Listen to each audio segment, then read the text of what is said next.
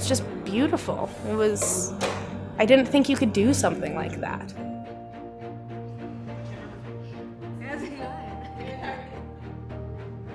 I feel like I've never seen anything kind of of that style before.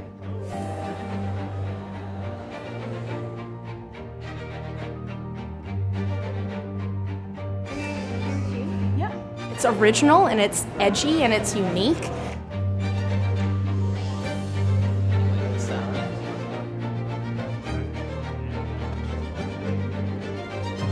Not being able to react or express yourself is really hard.